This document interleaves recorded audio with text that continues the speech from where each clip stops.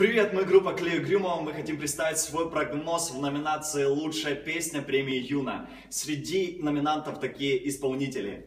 Тина Кароль, мы не останемся друзьями. Лобода, город под запретом и группа Виагра Перемирие. Алеша Безоружная. Нет лицензии на оружие. А- И Ани Лорак медленно. И группа The Hard Kiss, Stones и Злата Огневич Pray for Ukraine. Ну, мы, собственно, как мужчины и эстеты и ценители женской красоты. Посовещаться.